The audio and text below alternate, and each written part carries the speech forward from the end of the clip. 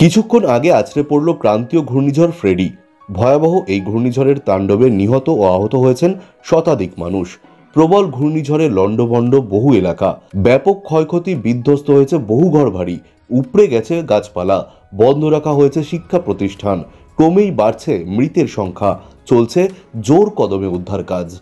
তবে কবে, কখন, কোথায়, কত কিলোমিটার গতি বেগে আছড়ে পড়ল ভয়াবহ এই ঘূর্ণিঝড়? ভয়াবহ এই ঘূর্ণিঝড়ের ফলে কতটা ক্ষয়ক্ষতি হয়েছে, কতজন আহত এবং কতজন নিহত হয়েছেন জানতে পারবেন বিস্তারিত ভিডিওতে। তাই অবশ্যই ভিডিওটি শেষ পর্যন্ত দেখবেন এবং আপনি আপনার জেলার নাম ভিডিওর কমেন্ট বক্সে কমেন্ট করে আমাদের জানিয়ে দেবেন। আপনার জেলার নতুন কোনো খবর বেরিয়ে এলে আমরা আপনাকে জানিয়ে দেব। একটা ছোট্ট অনুরোধ আপনার কাছে। ভিডিওটিতে একটি লাইক করবেন এবং আপনি এই চ্যানেলটিতে নতুন হলে চ্যানেলটিকে সাবস্ক্রাইব করে পাশের বেল বাটনটি বাজিয়ে দেবেন।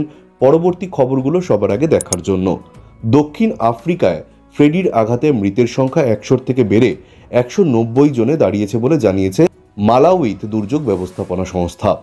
দুর্যোগ ব্যবস্থাপনা বিষয়ক বিভাগ জানিয়েছে, মঙ্গলবার মালাউইতে ভারী বৃষ্টিপাত অব্যাহত থাকায় পাঁচশো চুরাশি জন আহত হয়েছেন এবং সাঁত্রিশ জন এখনও নিখোঁজ রয়েছেন।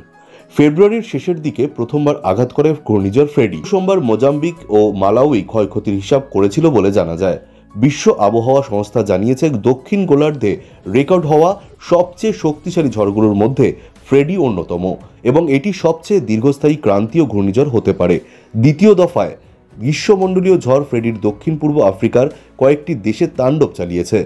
ঘূর্ণিঝড়ের কারণে প্রবল বৃষ্টি ও মাটি ধসে এ পর্যন্ত মালাউইয়ে দুশো জনের মৃত্যুর খবর পাওয়া গেছে। পার্শ্ববর্তী দেশ মোজাম্বিকেও ব্যাপক ক্ষয়ক্ষতি হয়েছে। বাণিজ্যিক কেন্দ্র ব্ল্যান্টায়ারে সবচেয়ে বেশি মানুষের মৃত্যুর খবর পাওয়া গেছে, যাদের মধ্যে ডজনখানেক শিশুও রয়েছে। ঘূর্ণিঝড়ের কবলে পড়া এলাকাগুলোতে কলেরার প্রাদুর্ভাব আরও বাড়ার সম্ভাবনা রয়েছে। সরকার দক্ষিণের দশটি জেলায় দুর্যোগপূর্ণ পরিস্থিতির ঘোষণা দিয়েছে। উদ্ধারকর্মীরা জীবিতদের খুঁজে বের করতে হিমশিম খাচ্ছেন। এ কাজের জন্য বেলচাও ব্যবহার করছেন তারা।